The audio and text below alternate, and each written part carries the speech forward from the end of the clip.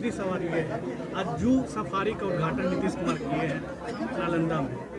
लेकिन नीतीश कुमार अपने जिला को तो चमका दिए। आप भी मुख्यमंत्री रहे गया साल गया में उस तरह का पर्यटन के क्षेत्र में काम नहीं जो होना चाहिए। देखिए ये सब तो आप लोग यंग आदमी हैं खुद समझना चाहिए कहाँ सत्रह बरस और कहाँ सात महीना।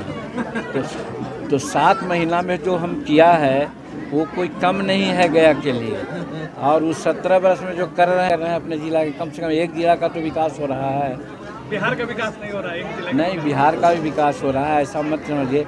आज चौबीसों घंटा बिजली मिलती है वो बिहार का विकास नहीं है। आज हर गाँव में लगभग पक्की रोड बन गई है वो विकास नहीं है क्या?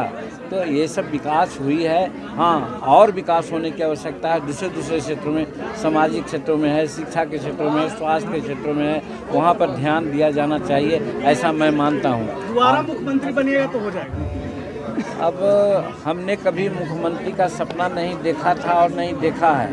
अगर मौका मिलेगा तो हम चूकेंगे नहीं।